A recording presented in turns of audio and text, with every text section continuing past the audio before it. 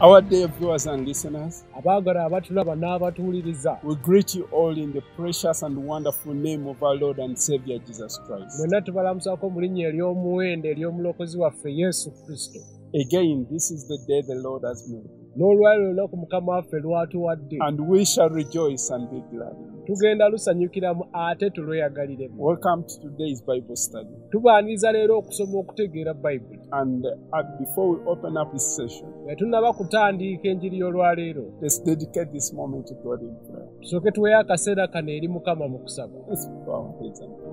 tusabe Loving Father, we thank you. Yes. We yield to your presence, your guidance, your wisdom. Yes, Lord. Speak your word in simplicity and clarity through us in power, Yes, that it may change all that hear us Yes, to the glory and the praise of your name. In Jesus' name. Amen. Amen. Amen. So today leero we begin another series. tutandika emisomo emipya We begin with the book of Romans. tutandika n'ekitabo ky'abaluumi And just to give you a brief on the book of Romans, okukutegeezako ebitono ku kitabo kino. The book of Romans is a systematic treatise that is considered the magnum opus of all Pa- Pauline epistles. ekitabo kino kirina enjigiriza enkulu nnyo mu ezo pawulo ze yawandiika. It is the most comprehensive presentation kyekitabo ekijjudde okunnyonnyola ku bintu bingi n'okubitegeera of Christianity in the New Testament. mu kutegeera obukristaayo mu ndagaano empya Paul's letter to the Romans ebbaluwa ya pawulo eri abaluumi was written about half of the first century. yagiwandiika wakati gw'ekyasa ekyasooka It is believed between 56 and 58 AD. Kikkirizibwa nti yawandiika mu makati ga ataano mu mukaaga paka ataano mu mu munaana nga kristo yaakafa when he was situated in Corinth yakiwandiikira ali kolinso on his third missionary journey. ng'ali mu lugendo olw'okusatu okuddayo okubuulira enjiri Now, contrary to what many people perceive kati okuwakanya bakye bakkiriza oba kye balowooza Paul did not found the church in Rome. Pawulo si atandika ekkanisa y'e ruumi So he was writing to a church he did not found. yali awandikira ekkanisa gy'ataatandika And Phoebe, whom we see in the 16th chapter, naye Foibe gw'olaba mu ssula ya kumi na mukaaga happened to be going to Rome. oyo ng'agenda e Roma So Paul takes this opportunity pawulo n'akozesa omukisa to ogwo put together this comprehensive letter. awandike ebbaluwa eno to the church in Rome. eri ekkanisa eri e Roma And what is found here era by'ogenda okuzuula muno is an amazing book ekitabo kino kirungi nnyo that he put together. Kye yawandiika In this letter, also, he wanted to announce the plans that he had to visit the church in Rome. ne mu bbaluwa eno yakozesa omwaganya okutegeeza enteekateeka ze yalina eri ekkanisa eri e Roma This letter was written to a community that was largely Gentile, yali akiwandiikira ekibiina nga bangi abasinga bamawanga which brings the relevance to us today.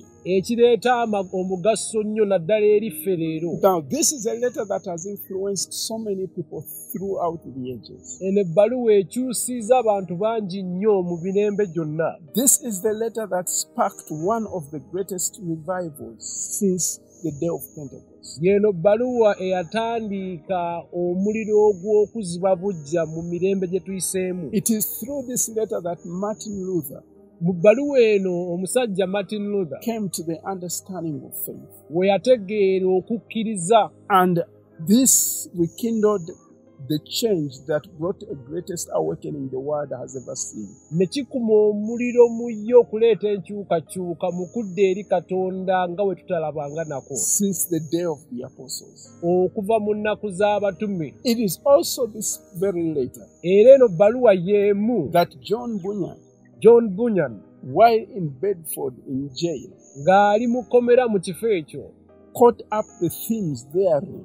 n'afuna emisomo egyawandiikibwa and muno he penned one of the greatest masterpieces, which is called The Pilgrim's Progress. n'awandiika ebimu ku bitabo ebikulu nnyo bye tumanyi ebiyitibwa olugendo lw'omutambuze. Now, Pilgrim's Progress ekitabo kino is a book that has helped many Christians relate on how we walk in this world that is fallen. kiyambye abakristaayo bangi mu ngeri gy'okweyisaamu mu nsi eno oba okutambulira mu nsi eno eyakyama It is also this very book era kitabo kino kye kimu. that rekindled the embers of John Wesley kye kyakuma omu- omuliro mu john wesley. While reading what had been written by Martin Luther. ng'asoma ebyawandiikibwa martin luther. And this warmed his heart era ne guzza omutima to the gwe greatest evangelical awakening eri okubuulira enjiri okuyimusa abantu. of the 18th century. mu kyase kya kumi na munaana.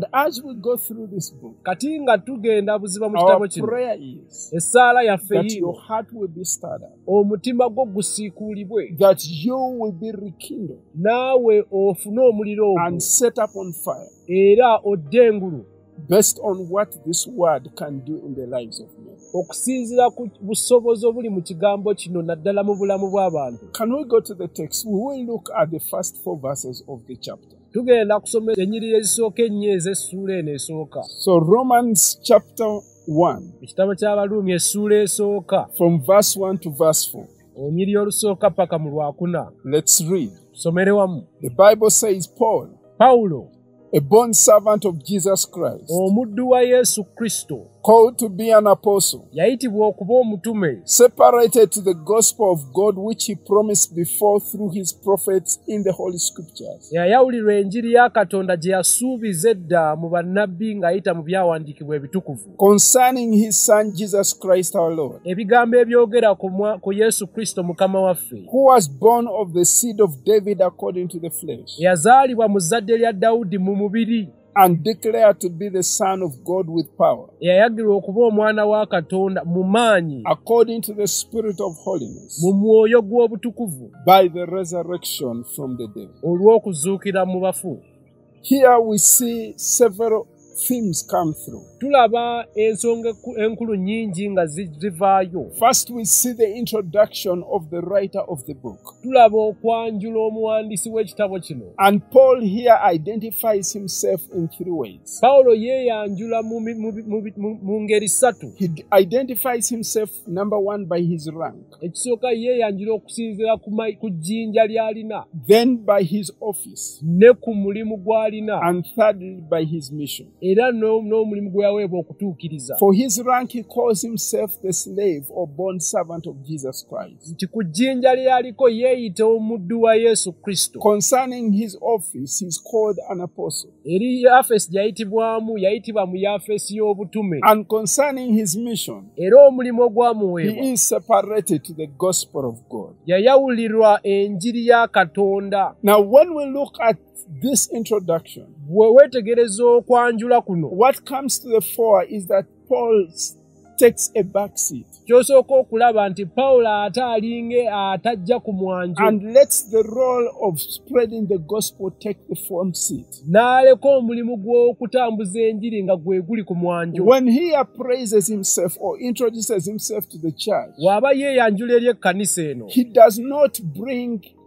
his Jewish name to the front. tababuulira na linnya lye ery'obuyudaaya What he brings to the front is actually his Gentile name. Paul. Ye- yeeyanjula ng'ayita mu linnya lye erya- ery'abannamawanga nga yeeyita pawulo Paul, which means little. amakulu gaakyo nti ono omutono He doesn't bring to the front the name Saul, takuliriza erinnya lya sawulo which speaks to one of the kings of Israel. erikujjukiza omu ku bakabaka abaafuga isirayiri And it is believed this is the name that he changed to be able to facilitate his travels through the Roman Empire. kikkirizibwa nti yakyusa erinnya lino limuyambe ng'atambulira mu matwale g'abaluumi Why would Paul lwaki kyali kyetaagisa pawulo not be proud of his Jewish heritage? Obuteenyumiriza nnyo oba okuteeka ku mwanjo okwogera ku ggwanga lye ery'obuyudaaya Because the fact is, he had a rich history. naye ng'amazima gye yava baali b'amaanyi His family was a Pharisee family. mu famire yaabwe be baali abafalisaayo So they were at the prime kati be baali abaamanyikibwa They were very renowned. nga buli omu amumanyi He had studied at the feet of Gamaliel, yasomera wansi w'ebigere bya gamaliyeri one of the eminent tutors of his time. omu ku basomesa abaali basinga mu biro bye So there was a lot to be proud about. kati yali alina bingi ebyokwenyumirizaamu Yet he did not consider that. naye ekyo teyakitunulira And what we see him kye tulaba bringing us introduction ng'okweyanjula is just the name Paul. abagamba ndi pawulo And there he brings forward, awo n'akutegeeza describing who this Paul is. n'akunnyonnyola ebikwatagana ku pawulo And he brings the description as follows. n'atandika The first one, he calls himself a bond servant of Jesus Christ. asooka kweyanjula ng'omuddu wa yesu kristo Now, bond servant omuddu oyo is the Greek word doulos. mu kiyonaana ekigambo kyekyo dulos Now, doulos means a slave. Kitegeeza omuddu It is a low and humble term. omulimu ogwo gwe gwa wansi ogw'okubeera it wansi means he has been purchased. kitegeeza ono yagulibwa He is owned by someone. waliwo eyamugula amulinako It obwannannyini was inconceivable nga tekisobola kukkirizibwa.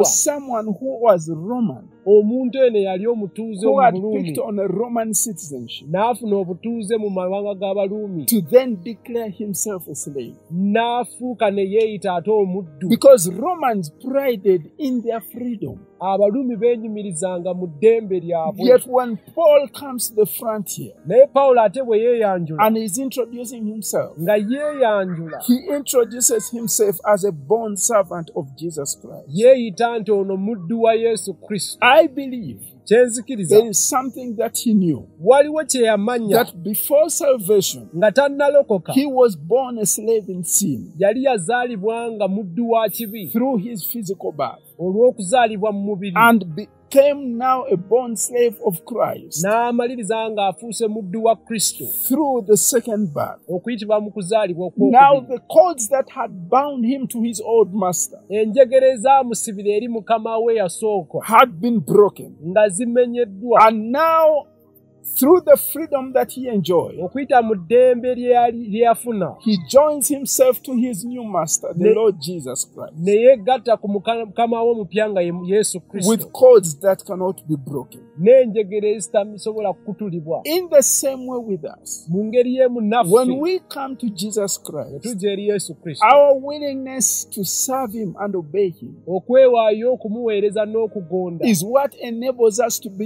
useful to his service. Kye kituyamba okuba abagasa eri obuweereza That is what makes us usable servants in the kingdom. kye kitufuula abaweereza oba abaddu abagasa mu And that is what makes our work of significance eternally. kye kireetera omulimu gwaffe okuba okugasa emirembe gyonna No wonder Paul later writes to the church, to the Galatians, pawulo awandiikira ekkanisa y'abagalatiya in chapter 1 and verse 10, essula esooka onyirwa kkumi. and he says, For now do I persuade men or God, naye kati nkolera kusikiriza abantu oba okuweereza or katonda do I seek to please men? oba nze nnoonya abantu okumpaana. For if I still please men, bwe mba nga nkolera abantu I kundaba would not be a born servant of Christ. sandibadde muddo eyagulibwa kristo The point here is, ensonga when gy'aleeta we come to Christ, kasita tujja eri kristo he never calls us ye tatuyita to be our own man. tubeere basajja ba- beetongodde The autonomy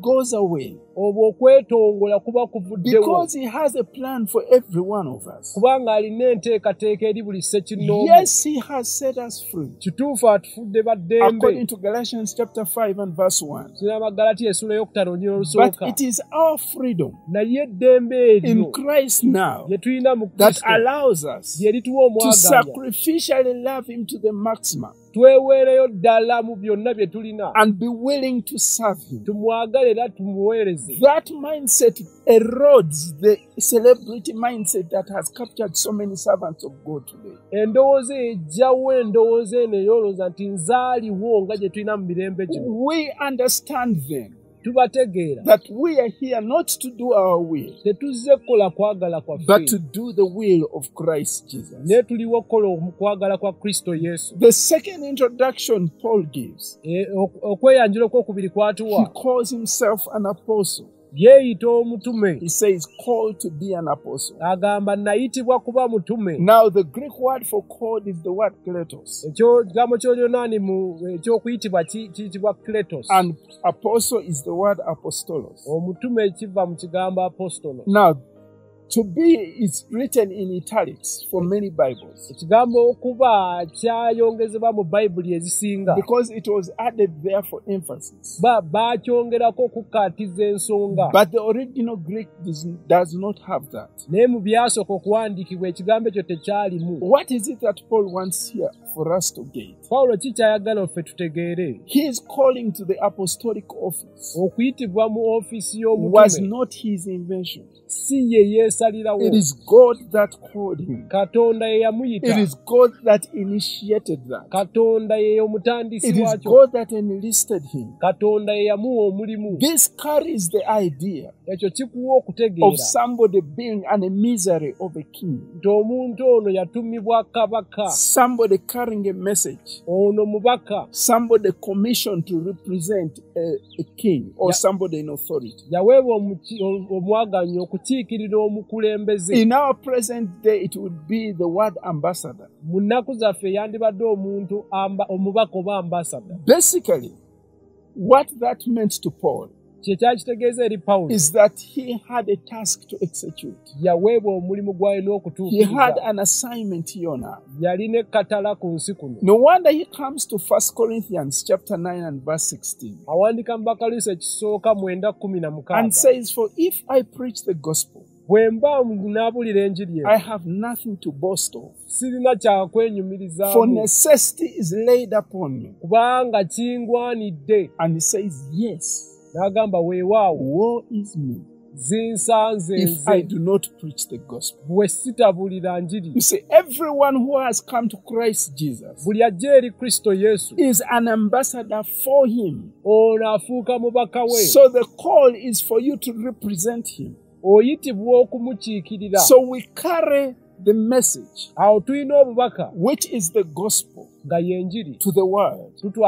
So God is summoning us with the credentials as ambassadors for Jesus Christ. n'ebisaanyizo okuba ababaka ba yesu kristo The third description Paul gives, okwennyonnyolako okwokusatu he kwatuwa says he's separated to the gospel of God. nti yayawulirwa enjiri ya katonda And the word separated here ekigambo ekyo eya- eyayawulirwa is the Greek word aphorizo. mu lyonaani kye kigambo ekyo aforizo Now, aphorizo is two words. One is apple, kigatta ebigambo bibiri ekisooka kye apo and the other is hoizo. ekyokuddako ekiddako kyekyo oizo Apple simply means out of. apo kigamba okuva mu Hoizo means to mark off by boundary, oizo kitegeeza okuteekako ensalosalo to limit, okubaako okutaayiza to have an to appoint an area of service. okulondawo ekifo ky'oweererezaamu. Basically, what is set here is Paul's calling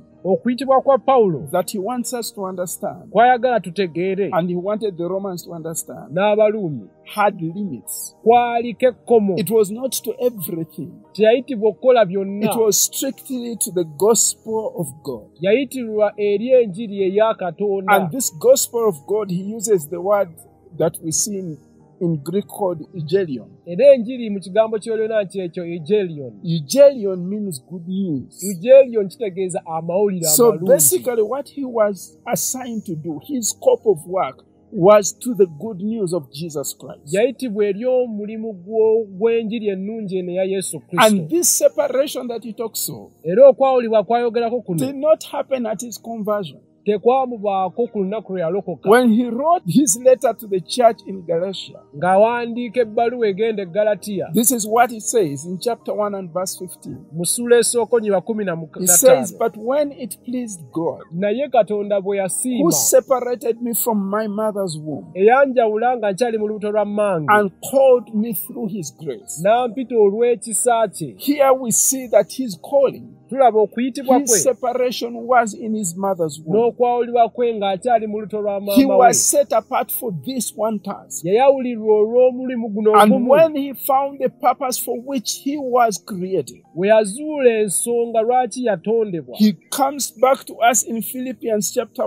3 and verse 13 n'adda gye tuli mu bafiripo essuula ey'okusatu nyiba kumi na and emphasizes that this one thing I do. n'akinyweza nze kino ekintu ekimu kye nkola He did not do many things. teyasalawo kukola The bingi one thing he decided to do ekintu ekimu kye yasala was okukola that for which he was separated to perform or execute. kyekyo kye yayawulirwa okutuukiriza Now, what does that mean to us? kitegeeza ki gye tuli Every one of us has a duty, ffenna buli omu olina and the duty is to advance the gospel of Jesus Christ. omulimu guno okutambuza enjiri ya yesu So, kristo as a Christian who is separated to the gospel, ng'omukristaayo yayawulirwa olw'enjiri it is a requirement that you isolate yourself teeka kikukakatako okweyawula. from all other ruling aims, okuva ku bintu ensonga nnyingi ezibanja. all other goals, n'ebiruubirira ebirala. And use the energy and the resources okozese amaanyi n'ebyobugagga to byonna this one end of advancing the gospel. okutuukiriza ekintu kimu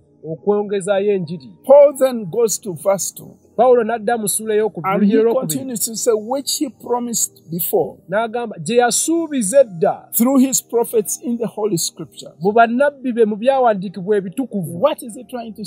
Kikyategeeza Teriiyo kipya What this gospel of God enjiri eno eya was katonda not a new invention. si kyekintu kye It baatandiseewo is something that God had begun katonda yakitandika. way back mabega and pronounced the same through the prophets. ng'ayitira mu bannabbi It is a message that goes all the way back to the Old Testament. buno obubaka obutandikira eri mu ndagaano see, the enkadde message of the gospel Eh, obubaka bw'enjiri is not limited to the New Testament. tebukoma oba tebwatandikira mu ndagaano empya butandikira eri mu nkadde Omuntu- Genesis chapter 3, omuntu weyonoona mu luberebera essula ey'okusatu katonda yasuubiza eri ogusota and said, The seed of the woman nti ezzadde ly'omukazi will crush the serpent's head. lijja kubetenta omutwe gw'ogusota He was speaking concerning the gospel. Down the road, we see the prophets come. Mu maaso eyo ne tulaba bannabbi Isaiah came and pronounced that a child would be born. isaaya n'ajja n'alagula nti omwana In alizaalibwa Isaiah 9, isaaya mwenda pointing again to the Messiah. ng'era atulaga omulokozi In Isaiah 53, isaaya ataano mu ssatu he points to the way he will bring redemption to mankind. n'atulaga engeri gy'ajja okuleeta okugulibwa kw'abantu The message is that the gospel is not an afterthought. obubaka nti enjiri eno teyagwawo bugwi It is God's initial plan, katonda and He yagiteekateeka edda intended to execute it to the very detail. ng'ayamalirira okugituukiriza buli kimu. No wonder when Paul was speaking to the church in Antioch. Nga pawulo awandiikira ekkanisa ya antiyokiya in Acts chapter 13, bikola abatume kumi na ssatu. verse 32, munyi lwasatu mu bbiri. he says, And we declare to you nti naffe tubategeeza the glad tidings, amawulire amalungi that promise which was made to the fathers. ekisuubizo ekyaweebwa bajjajjaffe God has from time immemorial been promising. katonda okuva edda nedda azze asuubiza And even the Lord Jesus himself, ne mukama waffe yesu mwene concerning his life, ng'ayogera ku bulamu bwe went to quote the very scriptures as written. Yasoma ennyiriri zino nga bwe For zaawandiikibwa the Bible tells us in Luke chapter 24 and verse 27, lukka abiri mu nnyo olunyiri lwa- lwa- olwabiri mu musanvu. When he met the disciples that were on their way to Emmaus, bw'asisinkana abayigirizwa nga bagenda emaawo and he speaks to them. n'ayogera nabo. Bible says, and beginning with Moses. Bayibuli egamba n'atandikira ku musa. all the prophets, ne bannabbi bonna. expounded to them. In n'abannyonnyola all the scriptures. Mu byawandiikibwa things concerning himself. ebintu ebibwogerako. You see, when we look at the Old Testament, bwe wootege- w'otunulira endagaano we, enkadde. we don't look at it in isolation. tetugiraba ng'eyayawulibwa We ku need birala to see it. Tandika ogiraba as that which conceals the message that is now revealed in the New Testament. ng'eyali ekwekeddwamu obubaka obu- obwabikulibwa mu ndagaano empya The Old Testament reveals Jesus endagaano enkadde tubikkulira yesu in promises, in types, and in direct prophecies. era ne mu bunnabbi Now, the New Testament is in the Old Testament concealed. kati yasooka kwekebwa mu ndagaano enkadde And now the Old Testament is in the New Testament revealed. So the New Testament contains the Old Testament. And the Old is in the New Testament now explained. So we need to take the Word of God holistically. Because it is the Word of God kigambo kya katonda. Pawulo yeeyongera okunnyonnyola biki ebyawandiikibwa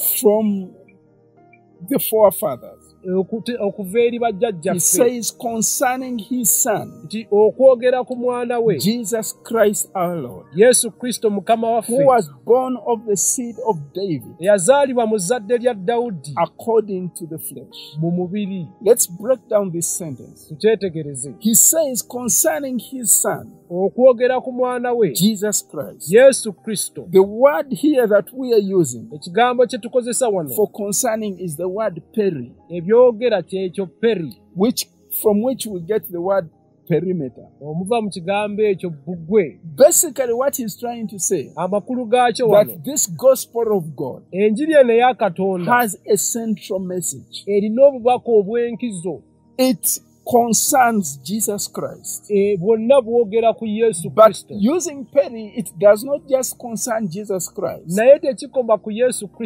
but it surrounds him. naye yeetoolodde So the message is about him. obubaka bwogera ku He ye is the very substance of the gospel. y'ensonga enkulu lwaki enjiri tugirina And when he begins to explain what this is all about, bw'atandika okunnyonnyola he ky'ategeeza says, This Jesus Christ, yesu ono who kristo was born eyazaalibwa of the seed of David according to the flesh. mu zadde lya dawudi mu mubiri Now, the word born that is used here ekigambo kino eyazaalibwa kye bakozesa is the word genomai. kye kigambo ekyo ginomai Genomai ginomai simply means mu bwangu bwakyo okukitegeera that something comes out of that which was not there before. ti kino kyava mu ekyo ekitaaliwo So he became something that he was not before. Yafuuka ekintu ky'ataali emabega So oba this ekitaaliwo implies a transition from one state to another. kiraga okuva mu kifaananyi ekimu n'ofuuka ekirala. So when he talks about Jesus being born of the seed of David according to the flesh, bw'ayogera ku yesu eyazaalibwa ezzadde lya dawudi mu mubiri. what comes to the front is this. Ky'otegera kye kino. Is that the state he now assumes ekifaananyi kye yajjiramu he did not have before. teyali nakyo emabega. And later, when John writes to us yokaana ng'atuwandiikira. in John chapter 1 and verse 14, enjiri ya yokaana essula esekunya wa kumi na he nnya brings clarity to what happened atangaaza ku and says, And the word became flesh kigambo n'ayambala and omubiri. dwelt among us, n'abeera wamu and we naffe beheld his glory. ne tulaba ekitiibwa the kye. glory as of the only one begotten of the Father, ng'ekyoyo yekka yazaalibwa kitaffe. Full of grace and truth. ng'ajjudde ekisa n'amazima. So this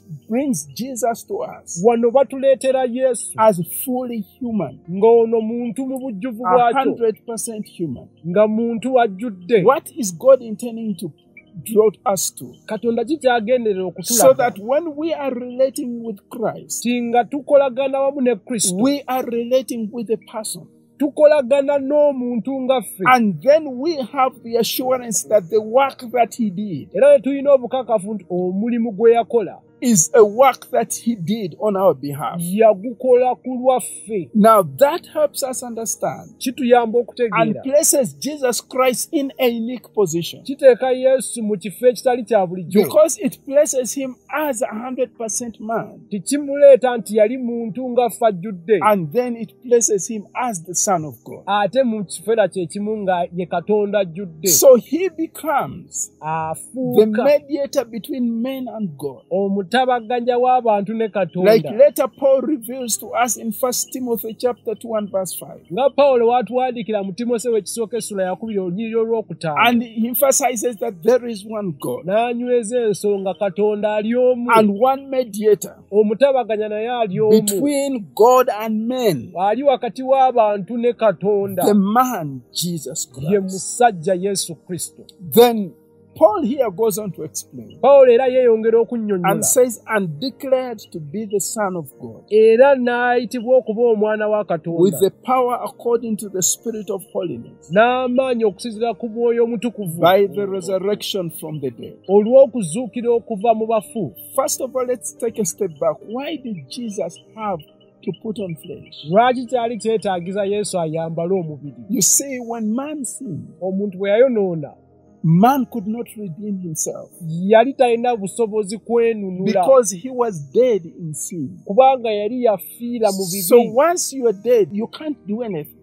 Bw'ofa oba tolina mulimu gw'osobola kukola So it had to take somebody living kyali kitwalira akyali omulamu to redeem the dead. ajjaagule omufu So since men were dead, kubanga abantu baali baafa dda it had to take God. kyatwalira katonda Why? Because it had to take a perfect person kyali kitwalira omuntu to atuukiridde redeem the imperfect. ajjaagule bano aboonoonyi And only God is perfect. ng'era yali omu yekka katonda But remember, in the price he had to pay was the price of death. nejjukira omutango gwe yalina okusasula gwali gwa kufa God is eternal, katonda tafa so he can't die. tasobola So he had to put on flesh yalina okwambala omubiri in order to die. asobole okufa And in dying, kati mu kufa okwo then redeem us awo mwe yasobola otugula through his blood. ng'ayita mu musaayi gwe Let's go on. Tugende mu maaso In verse 4, he said, And declared to be the Son of God with power according to the Spirit of holiness. eyalagibwa okuba omwana wa katonda n'amaanyi mu mwoyo omutukuvu By the resurrection of the dead. olw'okuzuukira okuva mu bafu Let's break that down a bit. It tukyetegereze says, And declared to be the Son of God. eyalagibwa okuba omwana wa katonda And the word declared there is the word horizon. ekigambo ekyo eyalagibwa kye kigambo ekyo It horizo is the word where we draw the word horizon. mwe tujja ekigambo ekyo ensalo In essence, it is placing a mark. Kwe kuteeka ensalosalo And what is happening here? Ekiri wano Jesus, who was the Son of God eternally, yesu eyali omwana wa katonda emirembe gyonna now God declares him katonda wano amuyita plainly to men as his son. nti eri abantu nti ono ye mutabani wange You see, as man, ng'era omuntu Jesus became something he was not before. yesu yafuuka kyatali So God had to declare his deity katonda yalina okukwogera nti ye katonda during his earthly life. ng'ayambadde omubiri And uh, there are so many thoughts that come through here okuteesa oba endowooza nnyingi eziva mu nsonga eno because throughout his life, kubanga ng'akyali mu mubiri wano there is so much about him that declared that he is the Son of God. Bingi nnyo ebyali bimwogerako ng'ono ye mutabani wa katonda. ekibuuzo naye bukakafu ki obusinga? obulaga nti mazima ddala yesu ye mwana wa katonda. era oyo mulokozi w'ensi. Tulina ebyokuyigirako bingi ekisooka of scriptures. kwe kutuukiriza ebyawandiikibwa bingi nga byogera ku mulokozi eyajjanga to katonda. Agule abantu. Even Jesus himself, yesu naye. in John chapter 5 and verse 39, yokaana ttaano asatu mwenda. when we had, was having this dialogue with the Pharisees, ng'ali mu mboozi he n'abafalisaayo tells them, You search the scriptures, aga muddeyo mutunuulire for in them you think you, find, you have eternal life. mwe mulowooza mu byo mujja kubulira obulamu obutaggwawo And he says, And they are they which testify of me. naye nga bye musoma bye bitegeeza ku nze Basically, what he was trying to point out nga kyabalaga is what we saw earlier. Kye twalaba emabega eyo. In Luke chapter 24 luka abiri mu nnya. when he met the disciples. He goes back to the scriptures era addayo mu byawandiikibwa n'abayamba okutegeera engeri ebyawandiikibwa bino gye byatuukirizibwa mu bulamu bwe. weewaawo tuyina obukakafu mu byawandiikibwa nga bwe bukakafu yesu mwana wa katonda Consider. naye waliwo obukakafu obula bwe twandi- tusobola The okutunuulira pointer of his remarkable birth. Engeri gye yazaalibwamu His birth was a miraculous one. amazaalibwa gaali ga bya- kyamagero But there is something even more miraculous, naye waliwo ekisingako which ate was his conception. Engeri gye yayingira mu lubuto lwa maama In Luke chapter 1 and verse 35, luka essula esooka asatu mu when Mary was wondering concerning the message that was came to her by the angel, maliyamu ng'akyafumitiza ku bubaka obwava eri malayika. the angel said to her, malayika n'amugamba when Mary asked, How shall this be since I don't know any man? bwe yamubuuza kinaaba kitya kubanga simanyi musajja This was the response of the angel. malayika n'amuddamu said, The Holy Spirit will come upon you, omwoyo mutukuvu agenda kukkako and the power of the highest will overshadow you. amaanyi ag'oyo asinga ewaggulu agenda kubikira era that Holy One which is to be born ekitukuvu ekyo ekinaazaalibwa is to be called the Son of God. anaayitibwa mutabani wa katonda Here, God declares katonda ategeeza that that which will be born of Mary oyo anaazaalibwa maliyamu will have the identity ajja kuba n'embala of the Son of God. ey'omwana wa katonda And it is not only that. si ekyo We kyokka have another pointer of his extraordinary life. tulina obukakafu obw'obulamu bwe obutali bw'abantu The life that he lived obulamu bwe yalina lends credence to the fact that he is the Son of God. bukaatiza ensonga nti ono mutabani wa It katonda amazed everyone. Bwewuunyisa buli omu. amazed his contemporaries. ne banne be yali nabo mu biseera That bye. John writes to us in John chapter 1 and verse 14 nti yokaana yawandiika mu ssula esookonyi lwa kumi na nnya. That the word became ti flesh kigambo n'ayambala and omubiri dwelt among us, n'abeera mu masekati and we gaffe. beheld his glory. ne twetegereza ekitiibwa The kye. glory as of the only one begotten of the Father, nga kyekyo ekyoyo yazaalibwa kitaffe. Full of grace and truth. Ekisa n'amazima And Jesus was able to say yesu naye yakyogera that whatever the Father does, the Son does in like manner. buli kitange kyakola nange mutabani kyenkola mu nkola y'emu still goes ahead and says, I and the Father are one. n'agamba nze ne kitange tuli bumu And that lays precedence to this fact that he is the Son of God. nga kikaatiza ensonga nti ono mutabani wa But is katonda that the greatest proof? naye bwe bukakafu obusinga Let's consider his death. Tunuulire okufa kwe His death was an astonishing feat.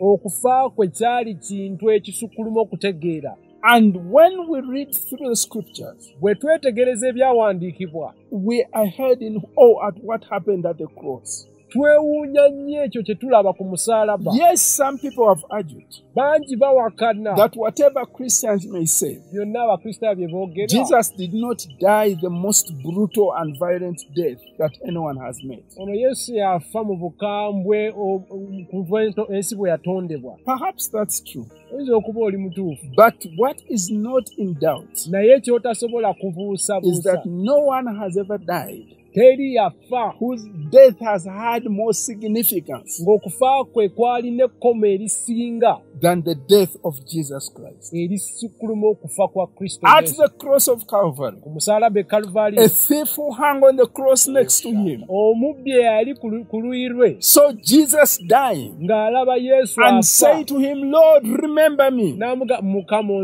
when you come into your kingdom. ng'oyingidde mu bwakabaka Luke chapter 23, verse 42. 32. luka abiri mu ssatu ana mu bbiri A centurion at the cross, ono omusirikale ow'ekitongole ky'abaluumi ku a musaalaba sober minded Roman soldier ono omusirikale ng'ategeera tawaliriziddwa ng'eyali omu ku bakuumi watched as the darkness enveloped the earth at noon. ng'atunula engeri ekizikiza kye kyayingirawo mu ttuntu And he watched as Jesus breathed his last. n'atunulira nga yesu assa ogusembayo And an earthquake swept all over the earth. musisi n'ayita mu nsi And whatever he saw drove him to this one conclusion. byonna bye yalaba ne bimuleetera okutuuka ku kusalawo That is recorded for us in Mark chapter 15 and verse 39. okuli mu maka 15:39 He said, Truly, mazima ddala this man is the Son of God. omusajja ono ye mwana wa katonda His death okufa kwe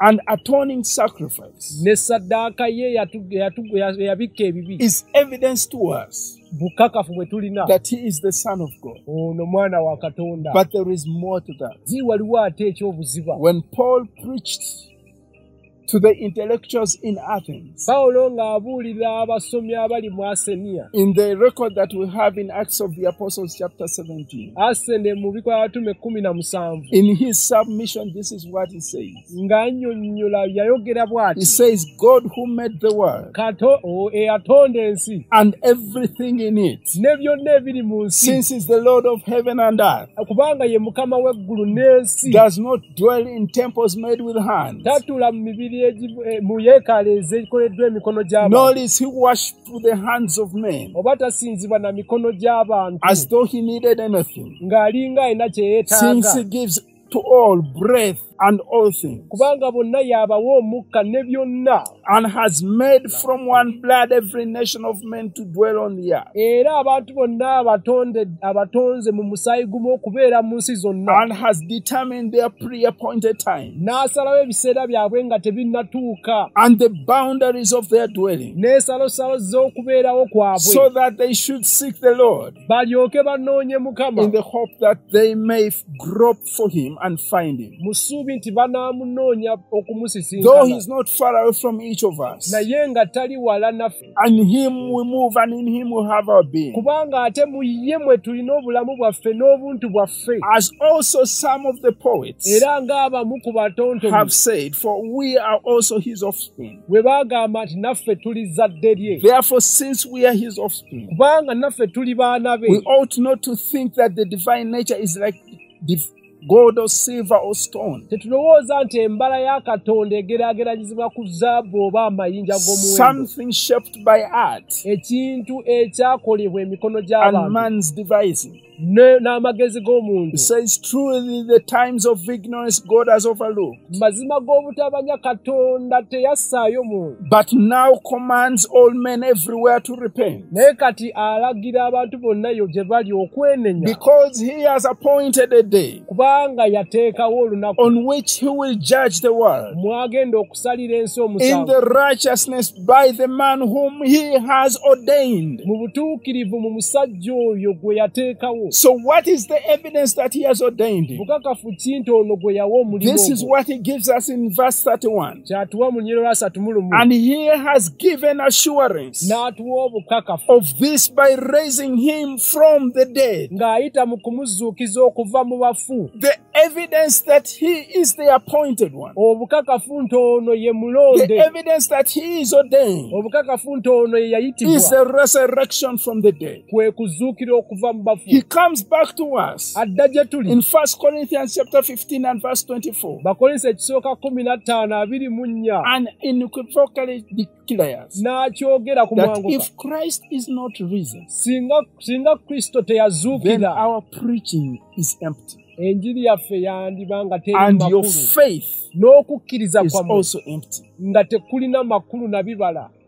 Now you may say, well, Paul may have been sentimental about the resurrection. How about Peter? Naye ate peetero Look at what he says when he visits the house of Cornelius. tunuulira kyayogera bwe yakyalira ennyumba ya In koloneriyo his message to the people gathered there, ng'abuulira abantu abaali bakuŋŋaanye. Acts chapter 10 from verse 36 to 39, bikola abatume kumi asatu mu mukaaga paka asatu mu the mwenda Bible says, bayibuli egamba This is what Paul, Peter said, peetero kye The yabwogerako word which God sent to the children of Israel, ekigambo katonda kye yatuma eri abaana ba isirayiri preaching peace through Jesus Christ, ng'abuulira emirembe egisangibwa mu kristo that yesu He is the Lord of all. nti ye mukama wa bonna That word you know, n'ekigambo ekyo mukimanyi which was proclaimed throughout all Judea and began from Galilee. ekyabulirwa mu buyudaaya bwonna okutandika e ggaliraaya After the baptism which John preached,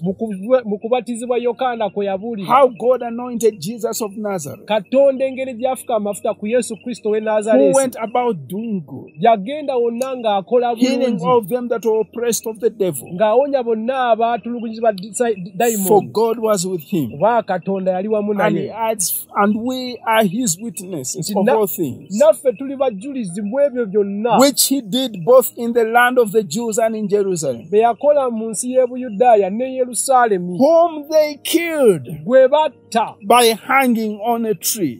nga bamukomolera ku muti I want you to see several things here. njaga weetegereze bingi Peter is telling them that these things you all know, it was the news of the time. peetero abaga mubimanyi kubanga gaali mawulire mu biseera These were the events that dominated the news at that time. amawulire gano ge gaali emitwe emikulu mu biseera But now he drives the point home. naye kati abayamba And okukitegeera he says, The one who hung on a tree. oyo yakomererwa ku In verse musaalaba 40, he says, Him God raised on the third day munyi lwa- lwa- nti oyo katonda gwe yazuukiza ku lunaku and showed him openly not all the people, n'amwanjula mu lwatu naye si eri bonna. But to witnesses chosen before by God, naye eri abajulirwa katonda be yeerondera even to us, naffe. Who ate and drank with him after he rose from the dead. twalye ne tunywa wamu naye bwe yazuukira okuva mu bafu. And he commanded us n'atuwa to ekiragiro. preach to the people tubuulire and abantu to testify that it is he who was ordained by God tubategeeze nti oyo katonda gwe yeerondera to be the judge of the living and the dead. okuba omulamuzi w'abafu n'abalamu To him all the prophets witness ne bannabbi bonna baawandika that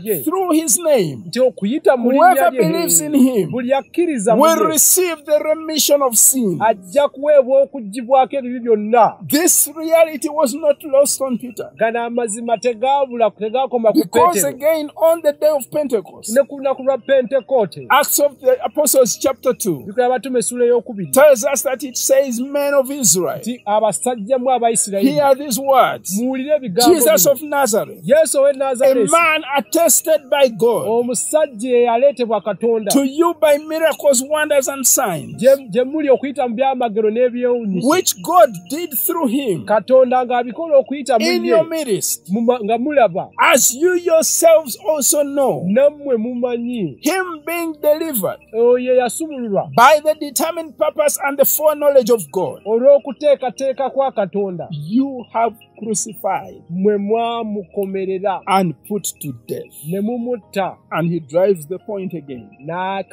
Whom God raised, katonda gwe yazuukiza. having loosed the pains of death, nga muggyeemu obu- obu- obuvune bw'okufa. Because it was not possible kyali tekisoboka. that he should be held by it. nti asobola okusigala emagombe This Jesus, yesu God has raised up, katonda of which we are all witnesses.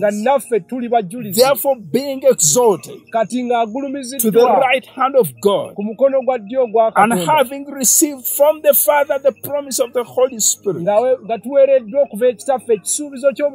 he poured out this which you now see and hear. Therefore, let all the house of Israel know assuredly that God has made this Jesus, mutegere mazima nti katonda afudde yesu gwe amufudde mukama era ye kristo. Ti bwe baawulira enjiri emitima ne gibalumiriza. ku lunaku olwo abayudaaya enkumi ssatu ne basalawo okugoberera yesu kristo. What is that sign? kabonero ki It is the sign of the resurrection. ke kabonero ak'okuzuukira okuva mu bafu Now you may say his disciples were occupied with his resurrection. goyinza naye abayigirizaayo lwaki baali balemedde they just made a big deal out of it. Baakuliriza ekintu ekyo. But John chapter 2, yokaana essula ey'okubiri. when Jesus had driven out the money changers from the temple, yesu ng'agobye bano abasuubuzi mu and they asked for the sign of his authority, ne bamuga tulage akabonero ak'obufuzi bwo. He says, Show us. Tulage. What sign, tulage akabonero since you do these things. nti lwaki anti obyekolera He ebintu says, Destroy this temple. n'abagamba mu- mu- muzikirize And in yeekaalu eno. three days I will raise it up. mu nnaku ssatu ŋŋenda gizaawo And they said, you, It has taken 46 years to build this temple. oga tulafumanya emyaka ana mu mukaaga okuzimba And will you eno raise it up in three days? kati gwe onaagizu- onaagizimba otya mu nnaku And ssatu John explains that he was not talking about the temple. yokaana n'abagamba yali tayogera The ku physical building yeekaalu was talking about his body. ekizimbe naye yeekaalu ng'omubiri gwe. And when he had risen from the dead, era we yazuukira kuva bafu his disciples remembered what he had said to them. abayigiriza ne bajjukira kye yabagamba. And they believed the scripture. Ne bakkiriza and the ebyawandiikibwa word which Jesus had said. ekigambo yesu kye yabagamba. Now, you may say, possibly they did not understand.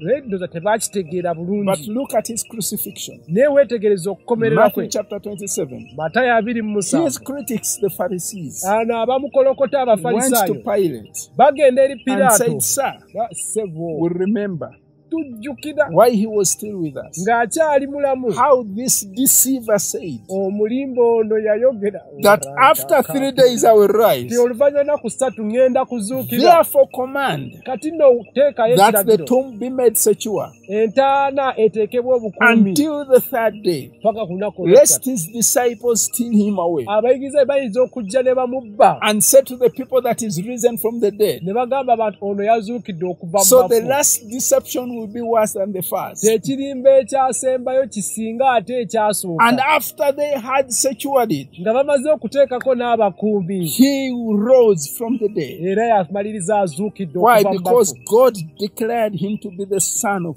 his son kuba katonda yamuyita omwana we in power, n'amaanyi dunamis, ge maanyi according to the spirit of holiness, mu mwoyo omutukuvu by the resurrection okuyita mu kuzuukira from the dead. okuva mu bafu The Bible tells us he was declared number one with great power. ekisooka bwe bigamba yaye- yategeezebwa nga yalina amaanyi amangi ennyo This is what Jesus told the Pharisees yesu kye yagamba abafalisaayo in John chapter 10, verse 18 to 19. yokaana kumi kumi na munaana He na says, Therefore, my Father loves me kitange kyeva njagala. Because I laid down my life kubanga nteeka wansi obulamu that bwange. I may take it again. ndyoke mbuzuukize No one takes it from me, teri asobola kubunzijjako but I have the power to lay it down, zaalina obuyinza okubussa and I wansi. have the power to take it again. ate nina obuyinza This okubukomyawo command I have received from the Father. kino ekiragiro naweebwa kitange. What does he say here? He ategeeza ki Any man omuntu yenna can lay down their lives. asobola okwetta That is within their ability. ekyo kiri mu busobozi But once that power has, that life has been laid down, naye kasita omala ofa there is no way you can take it up again. That is why many great men have died. It is possible to lay the, your life. The issue is taking it up again. Only Jesus yesu was able to take it up again. yalina obusobozi You see, the world cannot argue eh, ensi tesobola about taking kibuusabuusa your life, engeri gye wettamu oba ofa but it stands a test of time. naye kitwala obudde. If after you have laid it down, nga bamaze okukuziika Jesus, after three days, like he had promised, nga yesu yagamba ennaku ssatu. he took up his life again. So we have a choice to believe what he said or to just ignore the facts that are before us. Paul writes to the church in Ephesus concerning the resurrection. Pawulo ng'awandiikira ekkanisa y'efeso ng'ayogera ku kuzuukira agamba obujjuvu obusukkulumu bw'obuyinza bwe. buli erife abakkiriza. Okusinziira ku kukola okuli mu maanyi g'amaanyi ge yakola ng'ayita mu kristo. ng'amuzuukiza okuva mu bafu. n'amutuuza ku mukono gwa ddyo mu bifo far waggulu nnyo eri abo- ab'obuyinza n'abasaza. n'amaanyi na buli linnya lyonna. Si mu mulembe guno naye ogijja. Byonna yamaliza abitadde wansi w'ebigere bye. n'amuyita okuba omutwe eri ebintu byonna ekkanisa nga gwe mubiri gwe. okujjula kwoyo ajjuza byonna. Let's not miss the practicals here.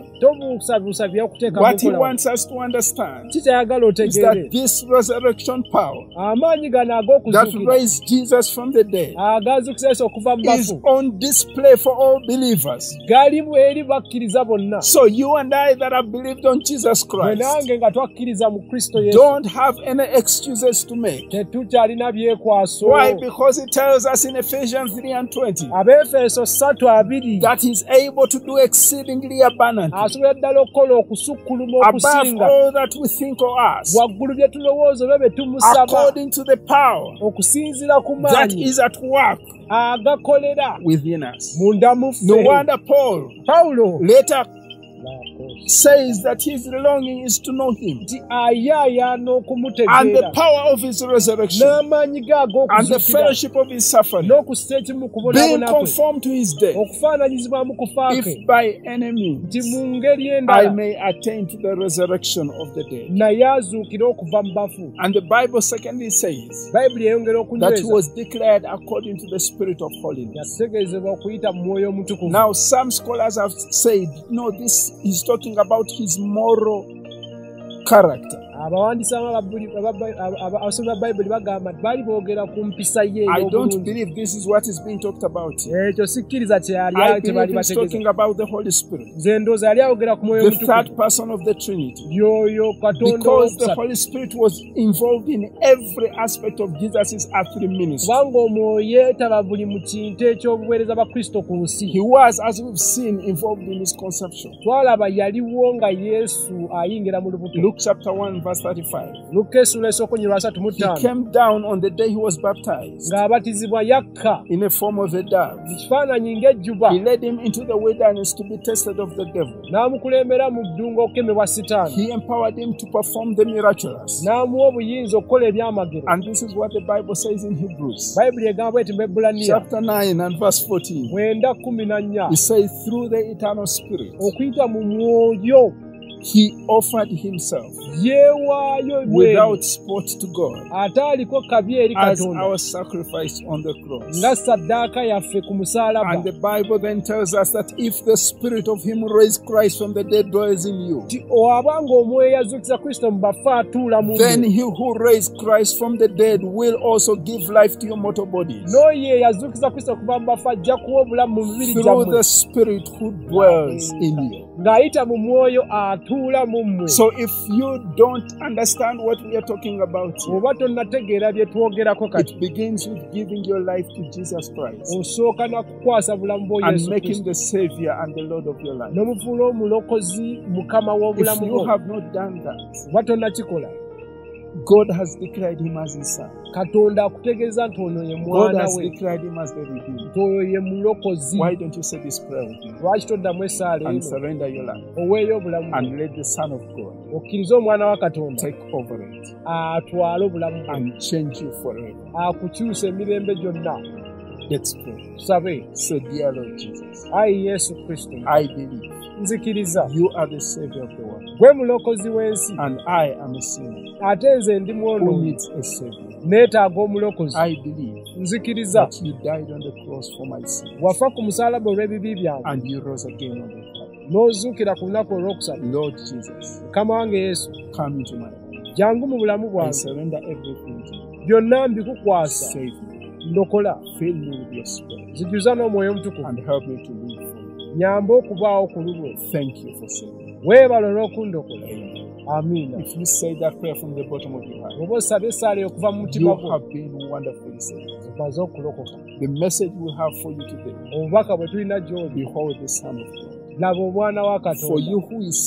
Gwe nga walokoka laba omwana wa but katonda more so take this message of the Son of God naye okusinga tutambuze obubaka obw'omwana wa katonda eri ensonda zonna ez'ensi. buli omu amulabe. Bwa katonda amubanjudde nti ye omwana we through two things. ng'ayita bintu bibiri. Number one, kisooka. Spirit of holiness. omwoyo omutukuvu. Number two, ekyokubiri. by power. Alina amaanyi by resurrecting him from the dead. era ne mu kumuzuukiza okuva mu amaanyi ago believer eri buli mukkiriza mu kristo yesu. So from Dominion Church, it's been a pleasure having you today. As we meditate on this truth, nga tuteeka amazima gano mu mitima gyaffe. May God minister to you. Katonda aweereze gy'oli. And you find your place and do what you need to do. ozuule ekifo ekyo okole ky'oteekeddwa okukola. So till we meet again, paka we tuddamu okusisinkana. ngamba mirembe. Katonda abawanise